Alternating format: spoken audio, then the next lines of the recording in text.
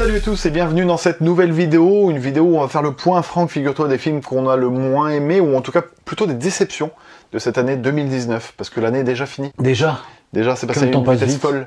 Franck, on vieillit de plus en plus. Le temps passe vite quand on s'amuse. Franck, on a déjà un pied sous la tombe. Non, dans. Non, mais nous sous. Ah, carrément Parce dessous. que euh, on est tellement en dessous Ouais. que bon bref, on est très content de vous retrouver, mais on, on va parler des films qui nous ont un petit peu déçus cette année. Alors vous inquiétez pas, on va faire des tops de l'année. Il y aura probablement plusieurs vidéos. À savoir que ben, nous deux on va en parler ensemble, et puis vous retrouverez aussi Jules et Marine qui feront, qui formeront un duo pour vous présenter leur top également. On n'a pas pu se réunir tous les quatre malheureusement. On est tous un peu dispatch- dispatchés là pour les fêtes. Même si ce n'est plus les fêtes, au moment où la vidéo se diffuse, ben du coup on, Tant pis. non mais c'est fou cette espèce de d'espace-temps qui sépare les vidéos de l'enregistrement et Mhm. je suis perdu. Que peut-être que vous nous regardez, mais que nous sommes déjà morts. Je- je- Mais parle pour toi putain. Non, mais peut-être, on ne sait Mais jamais. Peut-être oui, mais j'espère pas. Bah, non Mais plus. dis pas des choses comme ça. Mais touchons du bois. Attends, je touche la cheveux de mon cas. La chaude de mon cas, ouais. C'était une année. Écoute, Bah, pas terrible. hein. non, on peut pas dire que c'était pas terrible. C'était une année. Jusqu'ici, ouais. Jusqu'ici, je, partage ton, bien. je partage ton point de vue. On a vu beaucoup de films, mais. Moi, j'ai l'impression que j'ai vu moins de films que l'année dernière. écoute moi aussi. J'ai enfin, l'impression d'avoir été plus sélectif, on va Mais dire. véritablement, c'est ça. Et c'est pour ça qu'on va vous parler des déceptions. On va pas établir un flop parce que justement, euh, je le dis souvent ça, mais j'essaie d'éviter les bouses. Mm. Euh, tu vois, quand des films vraiment, euh, Genre Anna de Luc Besson. Enfin, c'est bon, pas la même chose. c'est pas la même chose. Je suis allé voir Anna parce que j'aime Luc Besson et parce que et parce que du coup, j'avais, on, faisait une vidéo dessus aussi, qui n'est jamais parue sur la chaîne, figure-toi. Bah oui, oui. Et si on attaquait par nos, nos déceptions du coup de cette année 2019 Est-ce qu'il y a un film, le premier film qui te viendrait en tête? Tu sais quoi, Franck? Celui qui t'a le plus déçu, ce serait quoi? Alors, effectivement, déçu, c'est le mot, parce que euh, j'avais vu la bande-annonce de ce film qui s'appelle Captive State, Ah, et la bande-annonce était très prometteuse. C'est-à-dire que j'ai vu la bande-annonce, je me suis dit, qu'est-ce que c'est que ce film? Ça a l'air très sympa. Hmm. J'étais très curieux de le voir. Et quand j'ai vu le film, bah, pff, on l'a vu ensemble, oui, c'est vrai. la team, avec Marine aussi. Marine oui, était avec nous oui, aussi? Marine était avec nous aussi. Elle s'en rappelle aussi, crois-moi. Ouais. Je pense que ça fera partie de ses déceptions Ouais, non, aussi. c'était pas, enfin, c'était, c'était, non, c'était pas, c'était pas réussi. c'était pas terrible. Alors c'était par le réalisateur de La planète des singes, Les Origines. Oui. Donc il y avait de quoi se dire, ça peut être cool. Mhm. Le Non, mais enfin, visuellement, c'est pas, c'est pas moche, quoi. C'est, c'est juste que le, le... bah, il- le film n'avance pas, il sait pas où il va. ouais, ouais, non, puis, puis c'est pas, puis, puis c'est pas intéressant, quoi. Ouais, c'est pas intéressant. C'est pas, c'est vraiment. C'est dommage parce que. John Goodman, on le voit trop rarement ce mec. Mm. Et il, il- vraiment, il dégage quelque chose On à l'image. moins en moins, ouais, c'est sûr. Non mais c'est vrai. Et Mm. le voir utilisé là-dedans, c'est du gâchis. Franch- franchement, c'est ouais, non, ça, ça, ouais, c'était pas, c'était pas terrible. Non, puis tout ce qui est initié n'est pas vraiment développé. Euh, ça méritait vraiment un autre traitement en termes de thématique et en termes de, de narration. Mais voilà, ouais, c'est vrai que c'est c'est une déception. C'est marrant, je pensais pas que tu dirais ça.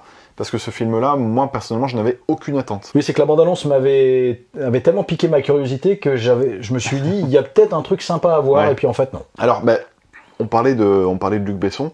Moi, j'étais déçu par Anna. Ah bah. Parce que, parce que moi, j'en avais quelques attentes, figure-toi. Alors que moi, j'en avais pas du tout. Tu mais, sais, euh, du coup, ça m'a conforté dans mon opinion, quoi. J'avais comme attente le fait de me dire c'est maintenant ou jamais. Pour toi, Luc.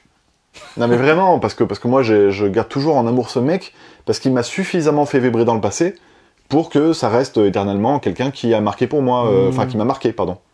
Et tu vois, avec Léon, le Grand Bleu, euh, Jeanne d'Arc, euh, tout ça, tout ça, enfin moi, le cinquième élément, Mm. Il a tellement compté pour moi dans mon adolescence en termes de, de cinéphilie que du coup, euh, je l'aimerais toujours.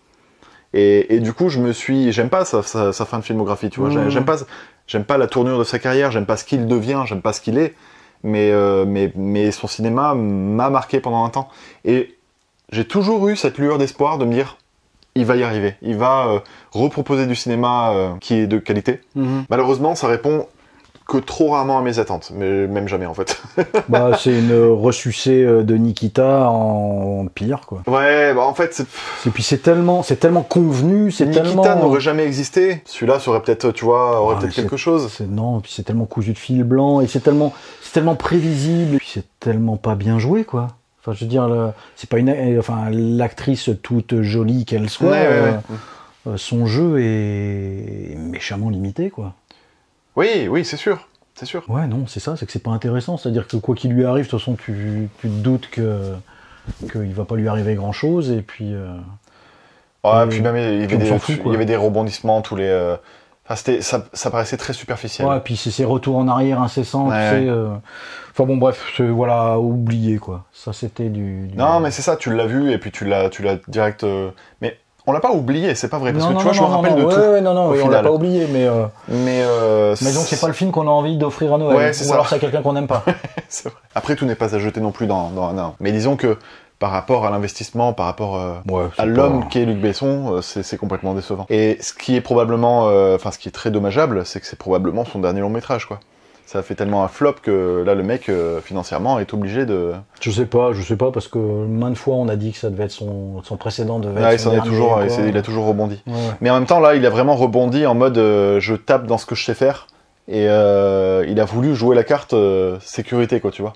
Ouais, mais c'est même pas sécurité parce que c'est mal fait. Oui, C'est En mais. plus, enfin, c'est pas. Mais il je a sais pas pris vraiment de risque, justement. On aurait dit une sous-production EuropaCorp. quoi. Oui, c'est ça. Enfin, EuropaCorp c'est sa boîte, Mais parce, que, mais parce que sa euh, cible, c'est pas la France, clairement. Quand il fait un film là comme ça où il doit relancer sa carrière, c'est pas nous, pauvres Français, qui allons euh, sauver sa carrière, sachant qu'il sait qu'on l'aime pas de toute façon. euh, on va lui chier dessus. Mais par contre, ils veulent vendre à l'étranger et les films EuropaCorp se vendent bien à l'étranger. Ouais. Je sais pas Donc, quelle euh, image il a à l'étranger. mais- Si, si, enfin, les, bah, tous les films Taken et tout, c'est c'est un tabac. Hein. Donc, ça fait un tabac. Donc, euh, C'est un bar, tabac même. euh, tu penses à notre film qui t'aurait déçu, Franck? Alors euh, oui, euh, je pense à et qui malheureusement m'a déçu, mais par sa fin, Ouais. c'est Alita. Parce que le film n'est pas complet. C'est-à-dire que effectivement, ça se termine sur un une espèce de cliffhanger, et donc du coup, euh, t'as ce truc qui te fait dire euh, to be continued. Tu sais le Ouais. truc qu'il y avait dans les séries. Sauf que t'apprends que euh, bah il se fera peut-être pas la suite parce que le film n'a pas marché à la hauteur des Donc, espérances. tu de- as aimé le film, mais comme il n'y aura probablement pas de suite, Mais tu es moi, très j'aurais, déçu. alors j'aurais aimé que ce soit, j'aurais aimé qu'il soit fait par James Cameron Bah, et évidemment. non par Rodriguez. Évidemment. Et que James Cameron, je me souviens euh, quand j'étais allé voir Avatar, bah, je me suis dit tiens, il peut s'arrêter là pour pour amener une suite, c'est pour appeler une suite. Et non, et en fait, il il s'arrête quand il a fini de raconter son histoire. Ouais. Et le film se suffit à lui-même. Ouais. Et j'attendais ça.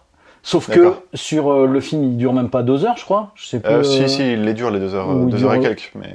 Ouais, mais enfin voilà, sur le, de toute façon sur l'immense. euh, Oui, oui. sur sur sur L'œuvre. l'œuvre sur l'œuvre euh, mais disons qu'il aurait fallu faire un minimum un film de ou- enfin en tout cas qui soit déjà annoncé en plusieurs parties et vendu comme ça comme l'avait été le Seigneur des Anneaux mais bon le Seigneur des Anneaux c'était vraiment l'œuvre l'œuvre Ouais, euh, sauf que en fait, si tu veux, c'est, je pense que il aurait fallu obtenir les financements pour l'œuvre intégrale qui Ouais, t'a découpé en plusieurs impossible. Justement, c'était, c'était tout l'enjeu du, du premier, Ouais, c'était de, de le vendre au spectateur. Ouais, mais et si que, ça voilà. marche, c'est bon, tu proposes les suites. mais c'est dommage parce que moi, c'est le genre de film.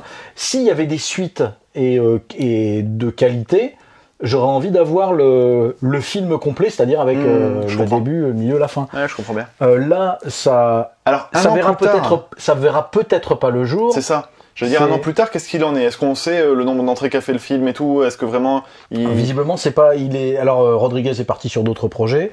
Bon, ça, c'est pas grave. Alors, Cameron, euh, de ce que j'ai cru comprendre, disait que il voudrait réaliser la suite. Enfin, C'est déjà un bon enfin, signe. Réaliser. Il voudrait que la suite se fasse. C'est déjà euh, bon signe. Voilà. Après, euh, là, il est tellement, euh, Oui, tellement occupé avec accaparé l'Avatar, que, ouais. Voilà, il suffit qu'il y ait un ou deux acteurs euh, qui qui soient plus disponibles à ce moment-là ou quoi, ce qui fait que ça va perdre en cohérence Mhm. et puis et puis ça va faire retomber le retomber le soufflet quoi. Et puis Ouais. moi, à mon avis, le soufflet est retombé. C'est pour ça que j'ai été déçu par la fin d'Alita, si Je tu comprends. C'est, c'est, je me suis dit, oh non, non, non, non, non, non, il faut pas nous faire ça, il faut nous faire une, une vraie fin. Même si ça s'arrête, euh, ça clôt, enfin, que ça, que ça, que ça clôt se un tient arc, quand euh, même, ouais. Non, mais ça se tient. Hmm. Sauf que le truc, c'est que. Bah, t'as envie de voir la suite. Bah, c'est surtout que ça s'arrête au moment où ça devient, enfin, ça devient intéressant. non, mais tu sais que le, le, pour le moi, ça pire est à venir. que, oui, en oui, fait, oui. ce que tout le L'affrontement, l'affrontement en fait, j'ai pas euh, Gun, j'ai Mm. pas tout lu. J'ai Mm. lu que le début et en fait, de ce que j'ai lu du début, c'est tout le film. Ouais.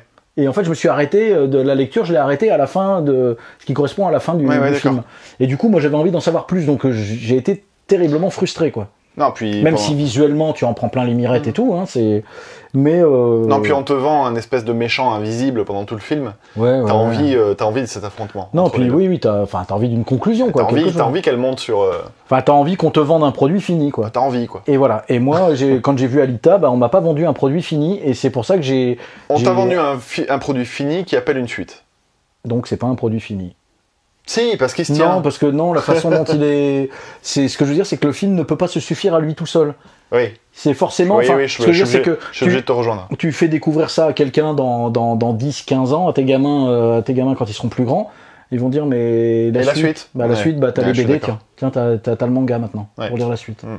Non, j'avoue, c'est regrettable, c'est regrettable. Voilà. C'est pour ça que c'est une déception. Ouais, ouais, je comprends bien. Puisqu'on est sur Cameron, moi je vais te proposer euh, Terminator Dark Fate en termes de déception. J'ai un tel euh, attachement euh, à la saga Terminator que malgré le fait que je sais qu'elle est pourrie jusqu'à la moelle, je euh, m'accroche à cette saga. Ouais. Je ne peux pas ne pas aller voir Terminator au cinéma.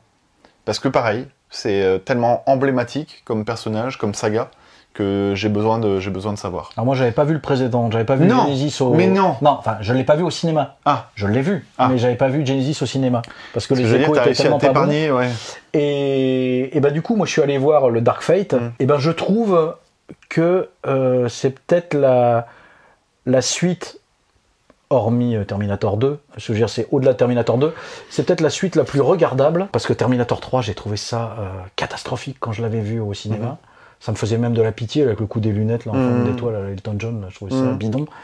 Euh, Genesis, euh, bon, n'en parlons pas. Euh, alors, si, il y avait eu un petit regain d'intérêt pour le film de McGee, là, Renaissance, c'était Ouais, ça Renaissance. ouais. Sauf que ils n'ont pas poursuivi sur cette voie-là, donc c'est un peu dommage. un coup dans parce l'eau, que, comme ouais, Alita par exemple. mais parce que ça pouvait, ça pouvait amener sur autre chose, tu vois, renouveler un peu le truc. Et du coup, bon, je suis allé voir, je suis allé voir le dernier, euh, mais je suis allé le voir après coup. C'est-à-dire que j'avais, j'avais entendu des échos comme quoi c'était pas si pourri que ça. Donc je me suis dit bon, accordons-lui sa chance. J'y suis allé de façon euh, complètement neutre. Et le film ne m'a pas déçu et j'ai trouvé ça plutôt divertissant. Ouais. Euh, après, sur la fin, l'affrontement, machin, bon, t'as une, re- re- une repompe de la fin de Terminator 2, grosso modo, presque.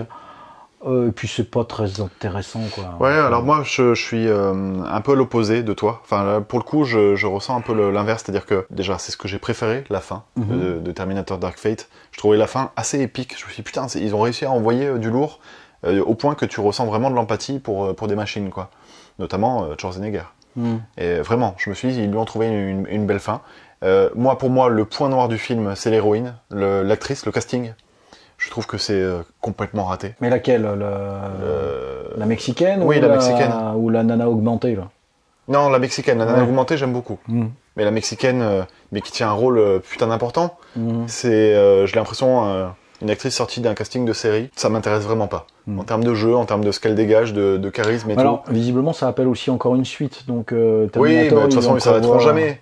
Mais en plus, maintenant qu'ils ont réussi à mettre une fin à Schwarzy, euh, c'est bon, ils peuvent faire ce qu'ils veulent. Ça y est, enfin. Ils Ouais, enfin, peut-être un peu libérés fin du fardeau. dans- Il avait une fin dans, dans Terminator 2. Oui, mais c'était tellement. C'est pour euh, ça que, alors, si, euh, s'il y avait le, donc le, le- le postulat comme quoi ils en auraient envoyé un deuxième en même temps que le premier qui a été envoyé pour le, pour le protéger John Connor dans le 2, et qu'ils en auraient envoyé un autre en parallèle, puisque il n'aurait pas pu être envoyé après, puisque à la fin de Terminator 2, Skynet n'existe officiellement plus, quoi, n'a Mhm. plus d'existence, enfin, raison d'exister, d'ailleurs ils le disent dans, dans celui-là. Mhm. Mais donc ils en aient envoyé un euh, là et puis qui a réussi à buter John Connor. Là cette scène là, alors par contre les effets visuels de, de Linda Hamilton euh, rajeunie, euh, c'est euh, bluffant quoi. Ouais. Même euh, Même Schwarzy. Même non Furlong aussi. Ah oui, oui, Edward Furlong aussi, ouais. C'était. Ouais, mais tu vois, enfin, Mais ça c'est pareil. Pas, euh, ça aurait, par contre ça aurait été James Cameron qui aurait filmé le truc, bah, bien ça sûr. aurait eu plus de gueule Alors, quoi. il s'en est pas trop mal tiré avec ce qu'il avait entre les mains. Non non mais je suis d'accord. Mais, Mais, mais tu vois, euh, l'actrice principale, Hamilton, euh, Sarah Connor quoi. Sarah Connor, je Mais suis en fait, pas persuadé par son jeu, moi. hein. Enfin, franchement, elle m'a pas emballé des masses. hein. Il n'y a pas le côté, euh, tu vois, autant comment elle s'appelle dans Halloween? Euh, Jamie Lee Curtis. Jamie Lee Curtis, autant je la trouve hyper convaincante dans son rôle à la reprise face à Michael Myers, autant là, euh, je me dis merde, euh, t'as l'impression qu'elle qu'elle revient du fin fond de l'enfer, quoi. Bah, hein. en même temps ils vieillissent. Hein, tous. Non mais oui, tu vis, mais il y, a- il y a tu vis, et t'as décroché du cinéma depuis des années, et tu vis où t'es super bon encore, quoi, tu vois. ouais. Et elle, je- pour le coup, je l'ai trouvée un peu dépassée. Voilà. ouais. Et j'étais en train de dire que du coup, euh, j'étais un peu à, à l'opposé, c'est-à-dire que bah, moi j'ai préféré euh, l'épisode 3, l'épisode 4, euh, jusqu'à Genesis, que je trouve tout pourrave, mais j'ai préféré non pas parce qu'ils étaient dans la continuité, évidemment ils trahissent un petit peu la saga, tout ce que tu Mhm. veux, mais ils ont leur propre identité. Et le 3 a son identité malgré le fait qu'il y ait de, le- de la comédie euh, un peu malvenue et tout ça. Mhm. Et j'arrive vraiment à le regarder pour ce qu'il est et à me dire, ben, je l'aime bien ce film. Vraiment, hein, le, le 3, euh, je sais qu'il est boudé par beaucoup de monde, mais moi je l'aime bien. Et du coup, celui-là, le Dark Fate, j'ai l'impression qu'il est le cul entre deux chaises et qu'il trouve pas sa propre identité. Et c'est ce Bah, qui me en fait, fait, chier. il- alors c'est un peu la mode comme ça avait été le cas avec Halloween, c'est que là il reprend, il, il balaye euh, les 3, 4, 5. Oui. Tu vois, pour repartir, Ouais. euh, c'est le 3.2, quoi, si Ouais. tu veux. Ça devient la mode, ça. C'est-à-dire ce qui nous embarrasse, on Oui, oui, on mais refait. pourquoi pas, à la limite, euh, on s'en Ouais, fout. mais enfin, c'est mais- quand même signe d'un cinéma malade, quoi. C'est qu'il y a un truc qui va pas, qui est pas assumé, qui est pas, C'est- qui est pas réfléchi, quoi, qui est pas réfléchi sur le long terme, qui est Mm. pas. C'est un peu le problème. Moi, j'ai pas d'attachement, je veux dire. Enfin, Terminator, il y a le 1 et le 2 pour moi, et point. Oui, bien sûr, bien sûr. c'est un peu comme les dents de la mer, il y a que le premier, quoi. Mais c'est signe d'une machine qui s'enraye et qui a besoin de tirer un trait sur euh, ce qu'il est en train de faire là Bah, pour pouvoir euh, tourner la page. Je pense même que ces acteurs-là, euh, tout ce qui est Schwarzenegger, Mm. Stallone, et on va revenir sur Stallone tout à l'heure, mais il faut qu'ils laissent ce qu'ils ont fait avant, qu'ils le laissent là où c'est. Et qu'ils arrêtent de vouloir. euh, Non, mais eux, ils veulent pas. Eux, eux, en non, fait, c'est ce que je dis, mais c'est qu'il faut qu'ils arrêtent. Parce que ça. Parce que qu'ils ça... disent non, tu veux dire? Ouais, enfin, faut qu'ils. Ouais, faut qu'ils. Disent non au projet? Oui, bah, là j'ai entendu, euh, j'ai entendu que Schwarzenegger il était branché sur un Last Action Hero 2. J'ai rien vu jusqu'à maintenant où les, les, les films, les suites qui arrivent euh, euh, 20, 30, 40 ans après euh, donnent quelque chose de donnent quelque chose de correct dans le sens où c'est euh, rattaché inévitablement à la, mytholo- la mythologie originelle quoi. Enfin, non mais vois ce Il y a forcément fait des exceptions, mais t'as raison dans, dans la globalité. oui, il y, a- certainement des exceptions. hmm. Euh, Oh, je pense à Rambo 4, tu vois, par exemple, qui, qui marchait très bien Oui, quand oui, il est oui. sorti. Bah Des voilà, bah, après, c'est pour euh, enchaîner. Autre déception, Rambo 5, là, euh, qui s'appelle Rambo Last Blood. Rambo Last Blood. Tu peux, tu peux en parler, effectivement, c'est une déception. Ouais, c'est pas. Enfin bon, moi je suis allé le voir parce que Stallone, quoi. Parce que. Parce Moi, que non, bah, tu peux pas dire avec, ça. Mais, Moi, je suis allé le voir parce que Rambo, putain. Mais moi, je suis, déconner. moi je suis plus attaché à Rocky qu'à Rambo. J'ai toujours été plus attaché Ah ouais à Rocky qu'à Rambo. Ouais. Même si celui que j'ai vu le plus, ça doit être Rambo 2, tu vois, Ouais. euh, qui, qui est, qui est un plaisir coupable hein, encore. C'est hein. trop bien Rambo 2. mais Rambo Je- 3, alors, par contre, tu sais, je fais bon, une quoi, petite mais- parenthèse, j'ai jamais compris pourquoi tout le monde parle de Rambo 2 comme si c'était un mauvais film. Parce que tu vois, même toi, tu t'en parles en disant plaisir coupable, parce qu'il est acté que Rambo est un mauvais film. Mais Rambo, c'est pas du tout un En fait, mauvais film, je alors, comprends pas. Rambo 2, c'est celui qui a, c'est le film qui a euh, établi l'image de Rambo gros bourrin, Oui, euh, décérébré. euh, oui, d'accord, mais c'est pas ça qui fait que qu'un long métrage est mauvais. Non, Enfin, non, non, non, non, non, non. le puis, personnage est un peu cliché ou un peu tout ce que tu veux, mais le film est, est super. Bon, bref, on Enfin, parle bref, pas de voilà. Rambo 2. Et mais- là, euh, donc Rambo euh, Cinq. 5, donc euh, Last Blood, anecdotique quoi. Enfin, c'est inintéressant. C'est pas, ça n'apporte rien à- au personnage, à la mythologie du personnage. Alors, il y en a qui disent que euh, quand. euh, alors, on fait du full spoil là. Oui, euh, oui, on peut, On spoil. hein. Si vous n'avez pas vu Rambo et que vous voulez le voir. euh, On agite des mains et voilà, puis on, agite rajoutera des mains à la fin on- du On va spoil. essayer de On penser. à- voilà, on va essayer de penser à. spoil. Mains. Voilà, spoil. Quand la fille elle meurt, Oui. certains ont dit que justement c'était la façon de Stallone de, de parler de la mort de son fils, Mhm. dont il a, où il l'a jamais exprimé, parce que en fait la filmo de Stallone est plus ou moins euh, le reflet de sa vie euh, Oui, en parallèle, quoi. Et, euh, et donc ça serait le, le, le, le- un peu son retour sur, Mhm. euh, sur comment il a géré la, la mort de son fils. C'est pas assez intimiste. Non, puis ça pas- marche. enfin, c'est- puis- trop léger, puis- ouais, trop puis léger. ça marche pas émotionnellement parlant, ça marche pas. Ah, moi j'ai trouvé que ça marchait émotionnellement Alors parlant. moi ça m'a pas touché et puis euh, la, la fin là dans les dans ces souterrains là qui il a dû se faire chier à creuser ça pendant pendant tout le temps où il a vécu dans ce dans ce ranch. Tu vois pas grand chose, c'est pas très bien filmé.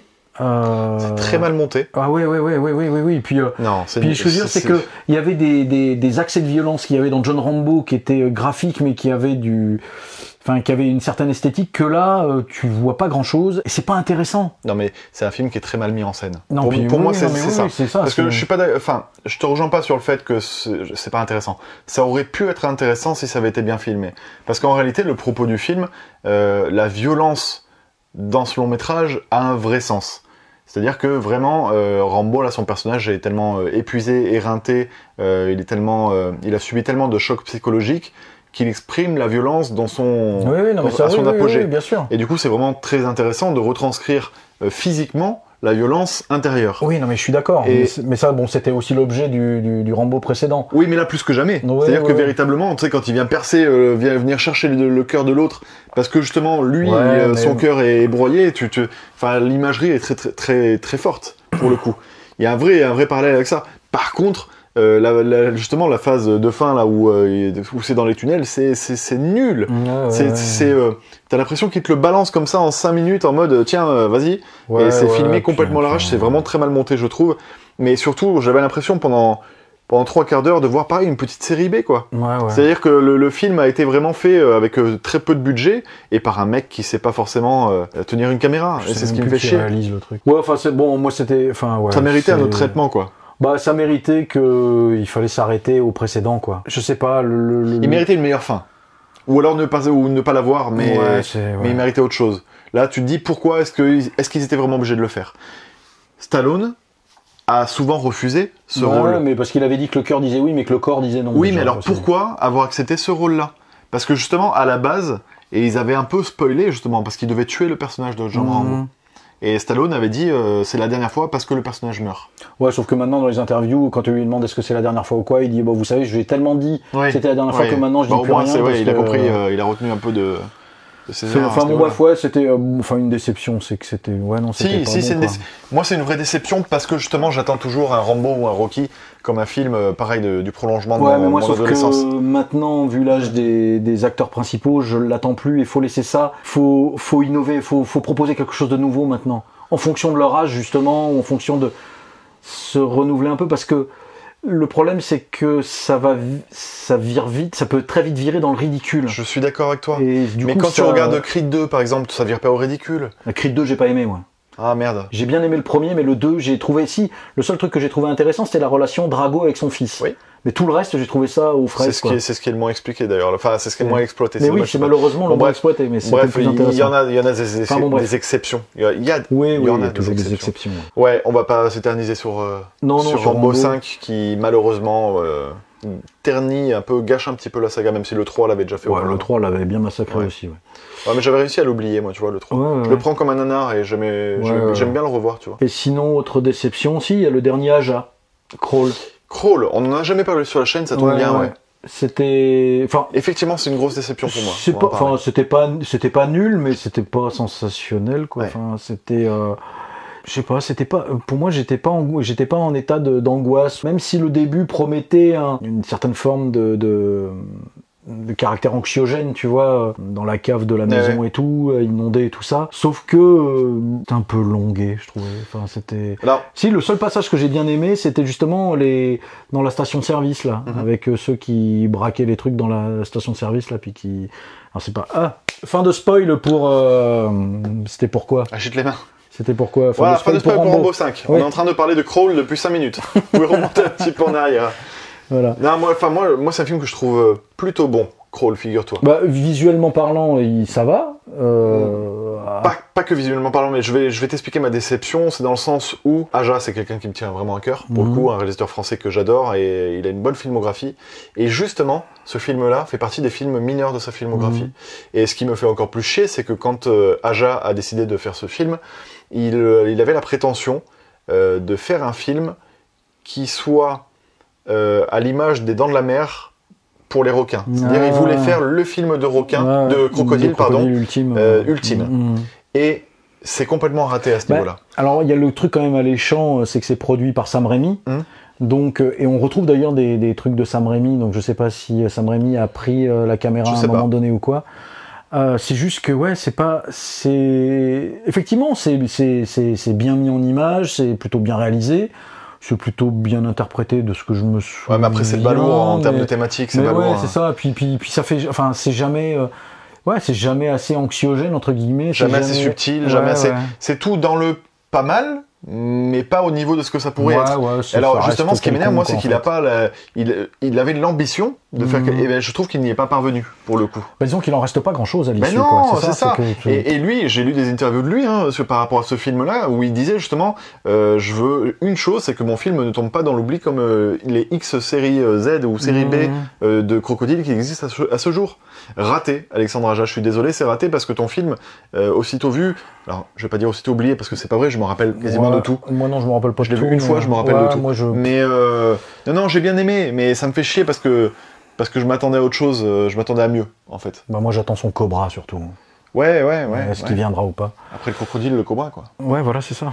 Restons dans la thématique animalière. Déception, euh, déception d'autant plus euh, grande que le film précédent nous avait bien hypé. C'est Ah, euh, Glass. Shyamalan. Voilà. Euh, où Split avait su, euh, pour moi, Oui. raviver l'intérêt pour le, pour le réalisateur. ouais, ouais. Et Glass, quelle catastrophe, quoi. Enfin, quelle catastrophe, c'est surtout le manque de moyens euh, tellement visible Ouais. et, Là et- aussi, et un- tellement ce pétard mouillé. une que- ambition plus importante que, mais c'est ça, c'est ouais. vraiment les yeux plus gros que le ventre. Ouais, c'est C'est-à-dire que on te, on te revend un affrontement machin et puis ça reste tout bidon, tout. Puis alors, il a, il a pas été aidé parce que t'as une heure de, une heure de rush sur Ouais, le montage. euh, Enfin, non, non, puis cette histoire de de de de de de, de, de- de centre psychiatrique où euh, on essaie de démonter tout ce qu'on a essayé de te, te faire avaler dans, Ouais. dans Incassable, que les super-héros sont parmi nous, qu'en fait on essaie de te faire croire que non, en fait ils existent pas, ça existe pas, machin, tout ça, pour au final revenir sur ton truc et dire que finalement ça existe. Le côté euh, réseau social, là, machin, euh, je diffuse la vidéo. euh, je trouve ça tout moisi, tout, Mhm. tout, tout, tout bidon et tout avec cette espèce de secte, ce groupe là sorti Pourquoi d'un peu. pas, c'est une oui, mais bon, la façon mais- dont c'est amené. ouais, ouais. Et puis, puis c'est, triste en fait. J'ai trouvé ça triste, j'ai trouvé ça pathétique par rapport au, par rapport au, au matériau de base, même Split, qui reste pour moi un film assez, enfin, Ah, c'est pas excellent, mais c'est moyen. Mais la fin avait quand même euh, rehaussé le tout en l'inscrivant dans la, dans l'univers, euh, dans le Unbreakable verse là, tu Ouais, vois. ouais. euh, l'univers d'incassable et, et c'est ça qui était inattendu et j'ai trouvé ça en fait Split te fait une promesse qui n'est pas tenue euh, dans Glace quoi Oui, c'est pas faux. c'est c'est ça et, et du coup c'est pour moi Glace c'est le fi- enfin le, presque le film de la honte quoi c'est à dire que Ah, j'irai pas jusque-là, mais ah, mais je enfin, laisse, euh, moi je enfin je sais qu'il fera pas partie de ma filmo et du coup enfin de ma DVD tech Hmm. et du coup Split que je trouvais plutôt pas mal je ne l'aurais pas parce que Ah. Split appelle Glace et du coup Ouais. j'aime pas Glace donc euh, Split je préfère garder Mm. Incassable tu vois Mm, mm. C'est en fait c'est pareil c'est encore une suite qui arrive trop tard trop tard et avec tellement pas de tellement pas les moyens qu'il avait à Mais le problème, c'est pas que euh, le problème, le problème, c'est qu'il traite la suite comme si c'était pas une suite. Le problème, c'est que comme tu dis, vu que ça arrive tard, il, euh, il le fait pour raccorder les, les wagons. C'est-à-dire que ceux qui n'ont pas vu Incassable Ah ouais, ouais, comprennent tout. Cette espèce de non mais c'est- puis cette espèce de truc euh, euh, où en fait les parents de, de, de Ouais. McAvoy étaient dans le train qu'il a fait dérailler Mhm. c'est comme par hasard tout s'imbrique mais tu te dis mais c'est Ah, il a voulu raccorder les. ouais mais ça c'est trop raccordé quoi Ouais, je veux ouais, dire puis ça sert à rien en plus Hmm. Faut- euh, concrètement ça sert à rien de raccorder ça espèce de pour faire un espèce de touriste. Parce que les gens l'attendent à ce niveau-là. ouais mais là c'était tout foireux là Ils sont tous, Ouais, ouais, non, mais je, sais pas, je- ça me- enfin, je bon, partage à moitié ta déception parce que pour le coup, je suis déçu aussi, même si je trouve qu'il y a des qualités dans le long métrage. Mais, euh, mais c'est vrai que, enfin, moi, ce qui me fait chier le plus, c'est le fait de ne pas l'avoir pris comme le troisième épisode de la trilogie. Mhm. Je, il revient sans cesse dans le passé, il, il brasse des trucs qu'on a déjà vus dans Incassable et dans Split et ça m'énerve. Parce que tu proposes Ouais, un troisième, pas- elle propose un troisième et qui se tienne en lui-même et, et surtout par contre je regarde, j'espère qu'un jour on verra un director's cut. Vraiment, j'y tiens toujours à ça. Mais probablement jamais, hein. Non, mais, euh, non, mais non, qui non. sait. Non, et puis en plus, il a pas pour, euh, il a pas pour habitude de proposer Non, ça. en pas plus. du tout. Donc, euh, Mais là, comme il était déçu et qu'il l'avait évoqué, tu sais, avant de publier son, son long métrage, je comprends pas, je comprends pas l'idée. C'est t'es déçu et tu, tu, tu, tu balances ton film quand même. parce que t'as des producteurs, Ouais, et c'est vrai, c'est des machines derrière, derrière, mais bon. qui, te, qui te poussent, mec. Ouais. Oh, mais dis-toi, même pour Star Wars 9, euh, Abrams a eu une date imposée Mhm. qui lui a raccourci de 4 mois le montage.